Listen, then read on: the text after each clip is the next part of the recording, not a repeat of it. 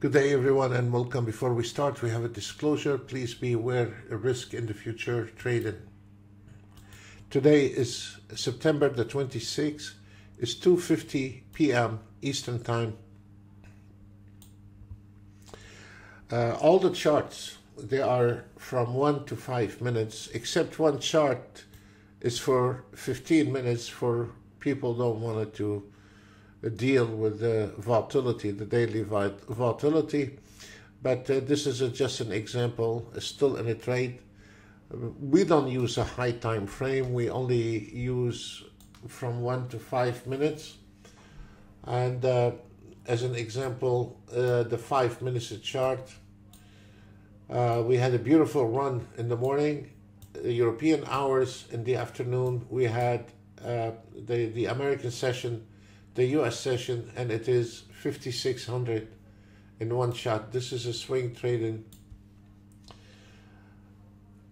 I'm going to show a little bit different between scalping and um, there is the ES here on three minutes, 3001 type of an entry. The five minutes is a total different type of an entry. As you see, this one here is five minutes, but two different results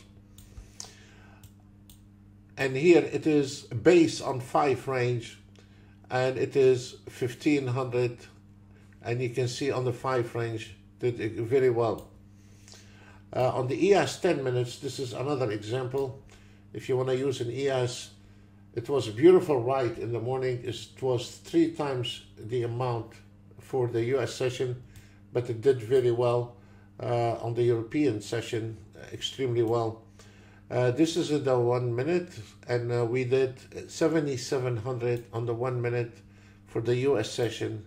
And this one here, the NASDAQ four minute, did 16,000. So the four minutes uh, did 16,900, and the one minute did 7,745.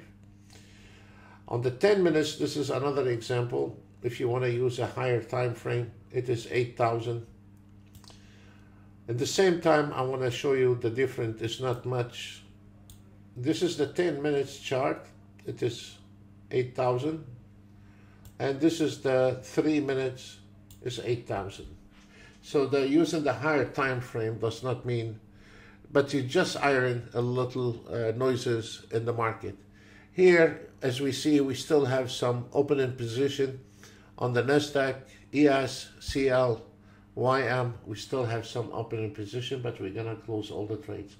We say thank you very much, and uh, we wish you a pleasant evening. Bye for now.